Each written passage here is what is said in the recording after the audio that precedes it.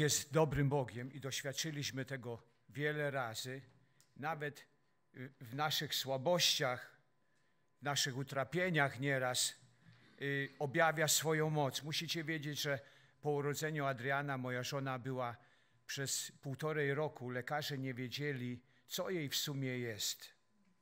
Zanim odkryli y, y, przyczynę jej, jej, jej stanu, bo była bardzo wy, y, wychudnięta, że się tak wyrażę, i bardzo słaba, wiele razy mdlała.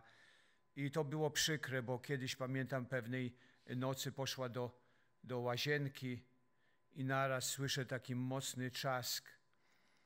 No i, i zemdlała, przewróciła się, gdzieś uderzyła głową. I mieliśmy przez te półtorej roku ciężką sytuację. Nieraz musiałem iść do roboty, bo miałem taką y, czas, różne czasy pracy, nieraz w południe, wieczorem czy na nockę i tak dalej. Y, chcę iść do pracy, ona mi tu mdleje na rękach i w każdym razie chcę wam tylko zobrazować, że przeżyliśmy, y, bo Bóg nas wspierał, bo Bóg jest dobrym i okazuje swoją moc. I chwała Mu za to. Gdyby nie On, nie dalibyśmy rady.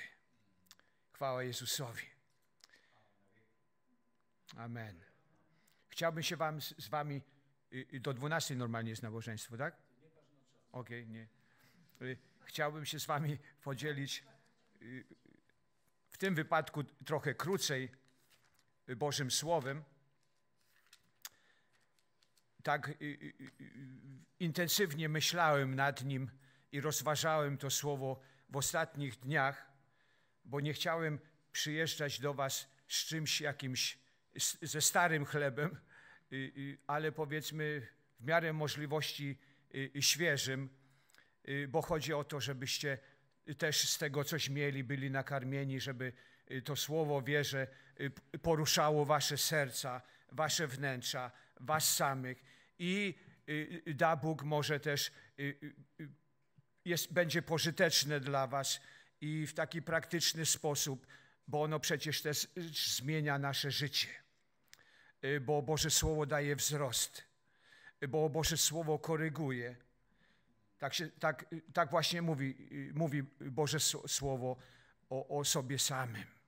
Bóg mówi, że Jego Słowo jest mocne i kiedy je posyła, ono wykonuje swoją pracę. Chciałbym Was zabrać w taką przeszłość, oczywiście w waszych wyobrażeniach, waszych myślach, y, do pewnej historii, która wydarzyła się y, gdzieś tysiąc, przypuszczam mniej więcej, 1200 lat przed narodzeniem Pana Jezusa. Y, jest to opisane w Księdze Sędziów. Niesamowita historia, niesamowita pieśń, która była tam wtedy śpiewana. Y, ja lubię pieśni, jak wiecie, też śpiewałem przez całe moje życie i lubię jeszcze teraz, teraz też, też śpiewać. I są pieśni, które y, y, pomijając nawet same psalmy, które są pieśniami, są inne pieśni w Biblii, którzy inni ludzie śpiewali. I chciałbym was zabrać do Księgi Sędziów, do czwartego rozdziału. Jest pewna historia, jak to często było y, i powtarzało się w dziejach Izraela, że y, jest, tak, jest takie pewne wyrażenie, że y, czynili zło, opuścili Pana i Bóg oddał ich pod władzę, byli pod okupacją. Wróg panował nad nimi, a później jest takie wyrażenie, wtedy wołali do Pana, znacie to, prawda?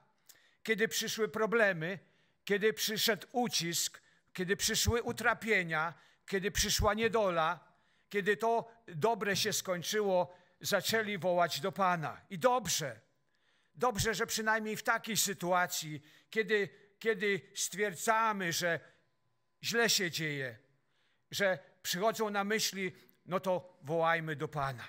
Oni tak robili. Zaczęli wołać do Pana o pomoc. I wtedy Pan sprawiał, że, że powoływał im jakiegoś wybawiciela. I wyobraźcie sobie, że w tej sytuacji, którą się znaleźli y, pod panowaniem króla Jabina, Biblia mówi, że y, wodzem jego wojska był Sysera. I w tej sytuacji 20 y, lat srogiego utrapienia, srogiego uciskania, Biblia nam mówi. Zaczęli wołać do Pana i Pan odpowiada i daje im wybawiciela. Biblia mówi, czytamy, że jest prorokini w Izraelu, kobieta, wyobraźcie sobie, którą Bóg używa w niesamowity sposób. I wszyscy ludzie przychodzą do niej i ona przekazuje im Boże wyroki. Ona przekazuje im Bożą, Bożą wolę. Miała gdzieś jakieś miejsce, siedziała, jak tu czytamy, pod jakąś palmą gdzieś. To, był, to, był jej, jej, jej, to było jej biuro. I tam do niej przychodzili ludzie ze swoimi problemami, aby pytać Pana o jego wyrok, o jego rozstrzygnięcie. I tą kobietę powołał Bóg, aby od niej się zaczęło, aby wybawić Izraela. Niesamowite. Bóg to potrafi. Czy, czytamy y, w szóstym wierszu, w czwartym rozdziale. Posłała ona wezwanie do Baraka. Czwarty rozdział, szósty wiersz, werset. i kazała mu powiedzieć: Oto tak nakazuje Pan Bóg Izraela: wyrusz i pociągnij na górę tabor. Weź sobie dziesięć tysięcy mężczyzn i idź na górę tabor. Góra tabor to w sumie taki, bym powiedział, większy pagórek, bo ma gdzieś, o ile sobie dobrze przypominam, gdzieś 500 60 metrów y, nad poziomem morza i jest gdzieś w okolicach Nazaretu, na południowy y, wschód od Nazaretu, gdzieś 9 kilometrów od miejsca, w którym Pan Jezus się wychował. I na tą górę, na górę Tabor, y, Pan rozkazał, aby Barak poszedł z wojskiem. Kiedy, kiedy czytam to słowo, bardzo mnie ono inspiruje.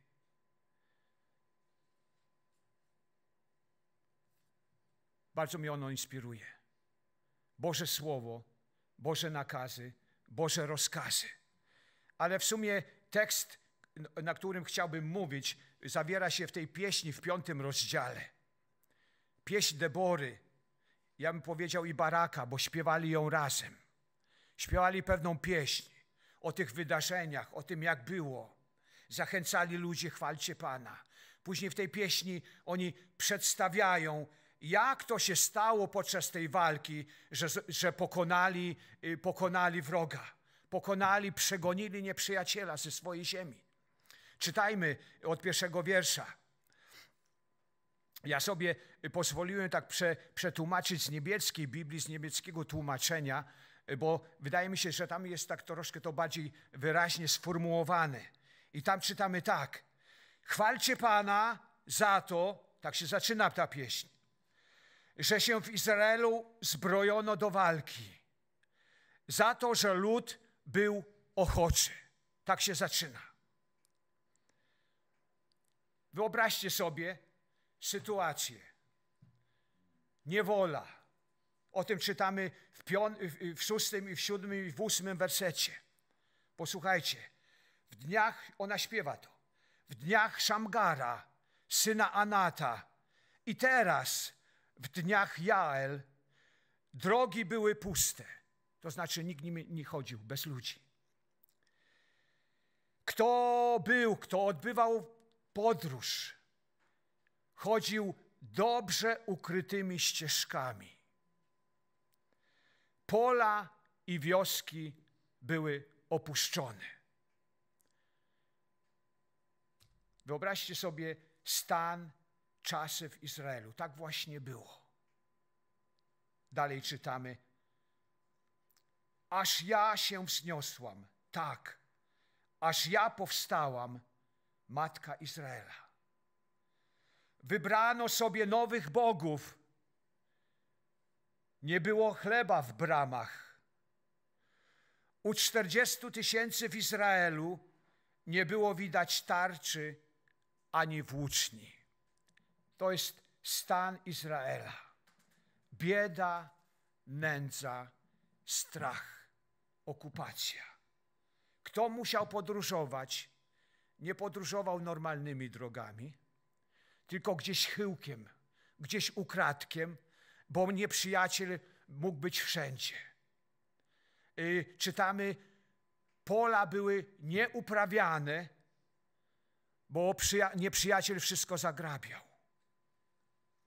Nie było chleba. Wioski były opuszczone. Jakiś czas później, kiedy czytamy o, o Midianitach, o Gedeonie, czytamy, że Izraelici porobili sobie w górach jaskinie, jakieś nory, jakieś twierdze i tam się chowali. Popatrzcie, co za sytuacja. Bóg dał im ziemię. Bóg dał im kraj. Nieprzyjaciel rządził wszystkim, strach panował. Nikt nie wychylał nosa za daleko. Wszystko działo się po cichu, po ukradku, bo nieprzyjaciel, bo wróg. Smutne, prawda? Weszli do ziemi y, mlekiem i miodem płynącej. A popatrzcie na rzeczywistość. Popatrzcie, jaki stan. I to, co mi się podoba, to, co mnie bardzo podnosi w moim sercu, Debora mówi, aż to trwało, to było, aż ja się wzniosłam w swoim duchu, w sobie. Aż ja powstałam. I można by dopowiedzieć, aż powiedziała dosyć.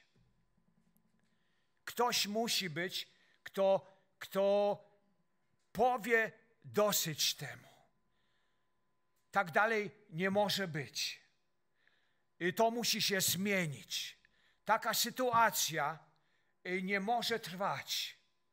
Y, nie ma śmiechu na, y, we wioskach, nie ma śmiechu. Dzieci się nie bawią. Całe życie zamarło. Taka była sytuacja. Wróg postarał się o to, że Izrael był bezbronny, że Izrael był bezpieczny. Czytaliśmy, nie było ani, ani tarczy, ani włóczni. I wszyscy ludzie, którzy mogli to wykonywać, którzy byli w stanie, wszyscy kowale wyobrażam sobie, nie wiem, albo się ich pozbyto, albo ich zlikwidowano. Nie było w Izraelu broni, żeby się bronić. Nie mieli możliwości. Byli wydani na pastwę wroga. Aż ja powstałam. A chciałem wam powiedzieć, że takim troszkę tematem tego kazania jest powstań i bądź zwycięzcą. Tego uczymy się od Debory i Baraka. Powstań i bądź zwycięzcą. Nie wiem, jaka, jaką sytuację masz w swoim życiu, przez co przechodzisz, jak ci się wiedzie y, w Twoim osobistym życiu, w Twoim duchowym rozwoju, w Twoim małżeństwie, a może znacie innych takich ludzi, których może nawet dzisiaj nie ma, albo w swoim sąsiedztwie. Y, nie wiem, jak ci się wiedzie w Twoim duchowym rozwoju, w Twojej służbie, w Twoim powołaniu dla Pana. To, co chciałbym Ci powiedzieć, jeśli, bo to słowo mnie bardzo zainspirowało, że możemy też zająć taką postawę powstania. Powstań jak Debora, powstań jak Barak. I w, powiem tak prawie, że w Twoich rękach leży decyzja, w Twoich ustach. To jest Twoja gestia. Ty możesz to zmienić. Aż powstała Debora i zaczęły się, zaczęło się wszystko zmieniać w Izraelu. Aleluja. Musi być ktoś, kto powstanie. Dlaczego nie mielibyśmy my powstać? Jeśli widzimy, że wróg się pastwi, że wróg y, okrada, że wróg przyszedł, zresztą Pan Jezus mówi, przyszedł diabeł, przychodzi, aby okradać, aby zabijać, aby zażynać, aby maltretować. To jest jego, to leży w jego charakterze. A my mamy w imieniu Jezusa autorytet, aby się temu sprzeciwiać. Masz autorytet w imieniu Jezusa. Czytamy, y, Pan Jezus czytał o sobie, że Duch Święty namaścił go, Duch, Duch Boży jest nad nim, aby to dokonywał, aby uwalniał, aby głosił uciśnionym Ewangelię, aby więzionych wypuszczał y, y, z więzienia aby wszelkie kajdany zostały rozrywane. Amen. Jesteśmy Bożym ludem, jesteśmy Bożym zborem. Jezus jest pośród nas.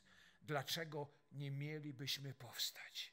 Dlaczego nie mielibyśmy powiedzieć dosyć? A jest wiele rzeczy, jest wiele spraw, przynajmniej tam, gdzie ja się poruszam, y, jest wiele y, sytuacji, gdzie to powinniśmy zrobić i powiedzieć w imieniu Jezusa dosyć. Tak dłużej to nie może trwać. To jest moja ziemia. I ta, y, ta każda pięć, na której stanie moja stopa, należy do mnie. Kiedyś Józef po, powiedział do Izraela, jak do pewnych plemion, jak część plemion zajęła już swoje dziedzictwo, a część jeszcze nie i powiedział do nich: Jak długo będziecie jeszcze czekać, będziecie jeszcze zwlekać, żeby zająć ziemię, którą dał wam Pan? Takie bardzo ciekawe y, wypowiedź. Jak długo y, możemy, jako ludzie wierzący, nie pozwolić na wiele rzeczy, kiedy będziemy w Panu, kiedy Duch Boży będzie nas ogarniał. I niech tak się dzieje. Aleluja. Bardzo mi się podoba ta pieśń. Ona tutaj y, pokazuje rzeczywisty stan. Ale idźmy dalej. Y, od, od wersetu 15. I książęta z Isachara byli z Deborą. A jak Isachar, tak i Barak. W dolinę poniosły go jego nogi. I teraz, lecz w oddziałach Rubena były, były długie rozważania. Dlaczego siedziałeś bezczynnie między dwiema owczarniami? By słuchać fujarek przy trzodach? W oddziałach Rubena były długie rozważania. Inne tłumaczenie mówi, dlaczego siedziałeś bezczynnie przy popiołach ognisk albo przy wygasłych ogniskach? Ja rozumiem, można sobie posiedzieć jakiś czas przy ognisku, dopóki ogień płonie. Ale tutaj jest takie, takie, takie wyrażenie też poetyckie. Dlaczego siedziałeś tak długo? Zastanawiałeś się. Warto tam w sumie iść walczyć? Wiedziałeś, tam są tam są moi bracia. I oni poszli walczyć. I ona tutaj napomina i mówi: Ruben siedział przy ogniskach i debatował, i dyskutował. Damy radę, opłaca się, w ogóle jesteśmy w stanie.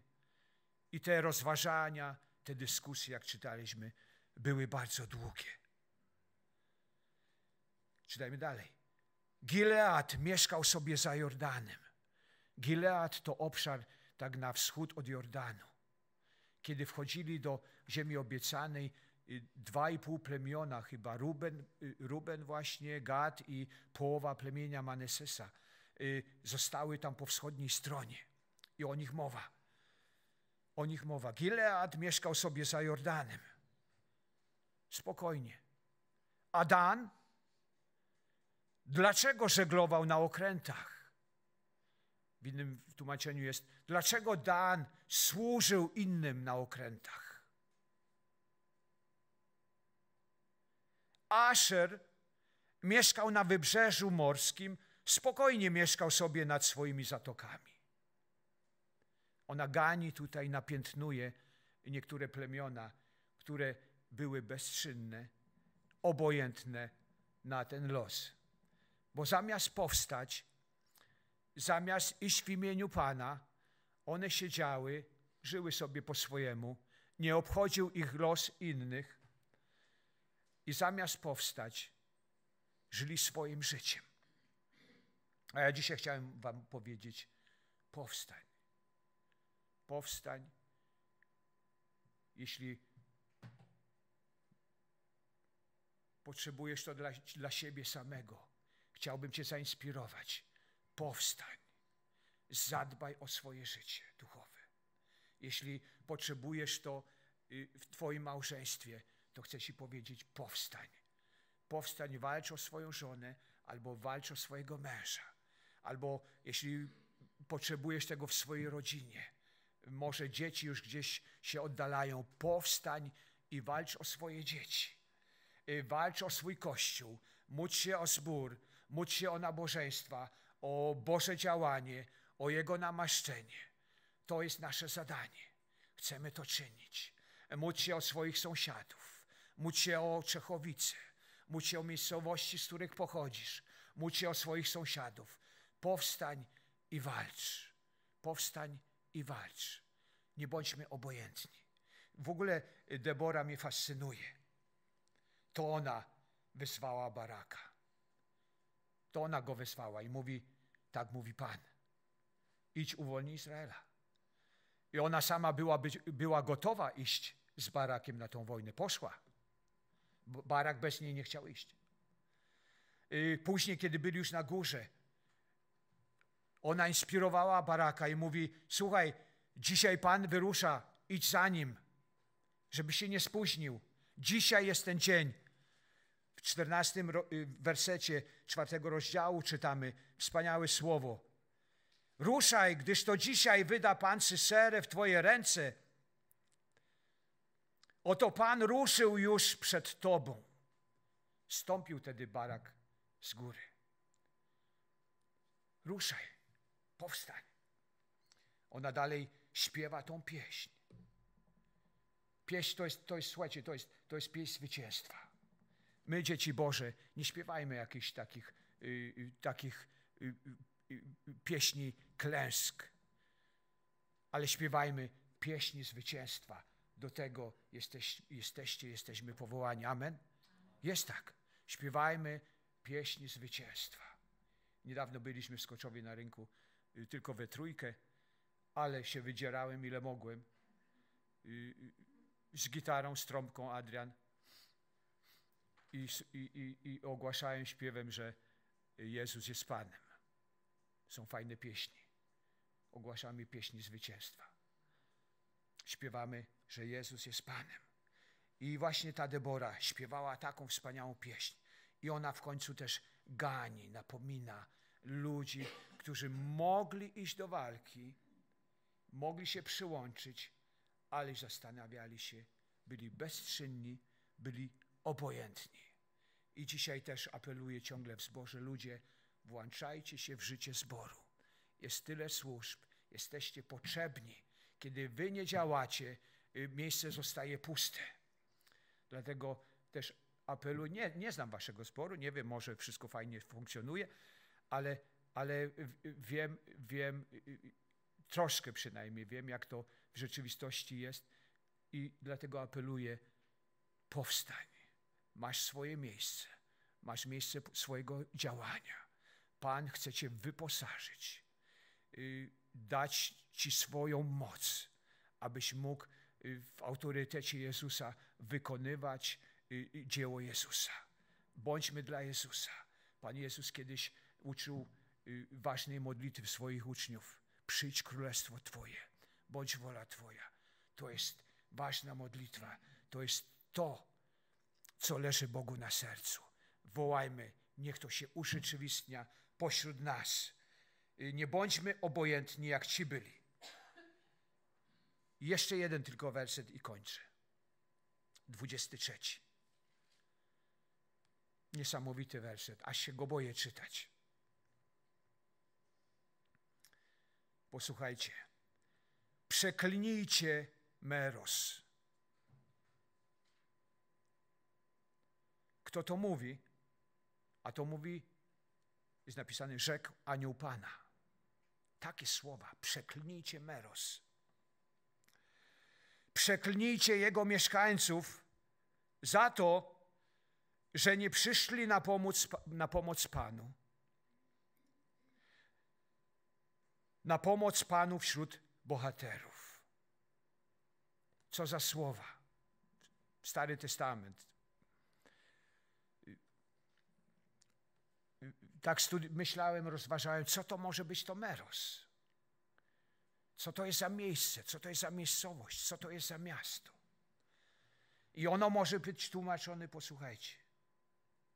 To Meros może być tłumaczone jako przytułek, przyjemność, miasto dla uciekających, schronienie, obrona, azyl. Fajne miasto. Przytułek, przyjemność, ochrona. Ale wiecie co? Są nieraz sytuacje, gdzie nie możemy, do, nie, nie powinniśmy do niego uciekać. Gdzie nie możemy y, uciekać w przyjemność, w przytułek, podczas gdy inni są na zewnątrz i walczą. Wiecie co, do Tymoteusza y, Paweł napisał o tych ostatecznych czasach i pisze w trzecim rozdziale tak, w drugim do Tymoteusza. A to wiedz, że czasy ostateczne to będą ciężkie czasy. Tak jest napisane, znacie to. Ciężkie czasy. I skoro Paweł już pisze, że to będą ciężkie czasy, to na pewno powinniśmy tego słuchać, bo sam Paweł przeżył w swoim życiu y, wiele ciężkich chwil. Wydaje mi się tak, że, że mało ludzi przeżyło to, co on przeżył. I mówi, w czasach ostatecznych te czasy będą ciężkie. I co jeszcze jest takie prawie że dobijające, że on to pisał do, do, do zboru, do wierzących ludzi. To, są, to, są, to, są, to jest ocena wierzących ludzi. I jedną z takich ocen jest to, że będą samolubni. I to totalnie bije, bije w kościół, w zbór. Bo kiedy ludzie stają się samolubni, nie ma e, miejsca na społeczność. A kościół to społeczność, kościół to wspólnota. Ale drugim takim wyrażeniem, czy którymś z kolei, jest to, że właśnie ci ludzie, ci, którzy przychodzą do zboru, będą tacy, którzy kochają Boga, tak? ale więcej niż Boga kochają rozkosze. Pastorze, zgadza się? Zgadza się. Są, którzy kochają Boga, ale więcej, bardziej niż Boga, jest coś jeszcze wyżej. To są przyjemności, to są rozkosze. I tak wam powiem, że stwierdziłem, że to jest to miejsce, to jest to Meros, gdzie, gdzie ludzie trwa wojna, ludzie chowają się w przyjemności. Nie mówię o świecie, mówię o wierzących. Zamiast do zboru w niedzielę mają swoje pomysły, jak spędzić według nich lepiej niedzielę. Przyjemność, przytułek, schronienie.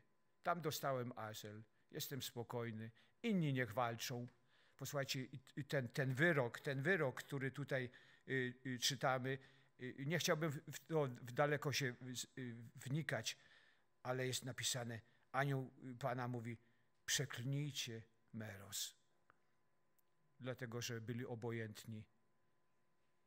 Nic ich nie obchodziło, co się dzieje w kraju.